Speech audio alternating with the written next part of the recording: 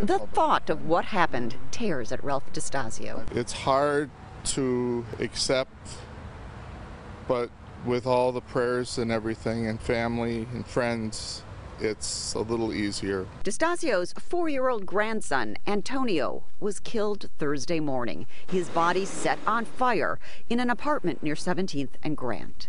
Police say the boy's 23 year old mother is the killer.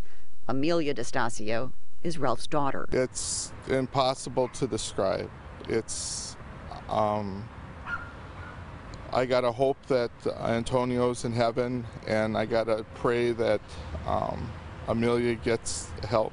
If this, if if she needs help, she needs help, and I believe she does. Ralph DeStasio says his daughter has had mental health issues, but was devoted to her son. The four year old was autistic. His grandfather says the boy's mother taught her son the alphabet and how to count. DeStasio has a GoFundMe site to raise money for Antonio's funeral. The wake is on Monday, burial the next day. I'm really glad for all the prayers and uh, thankful thoughts. While Ralph DeStasio looks for solace and answers, he also looks for a Sesame Street doll.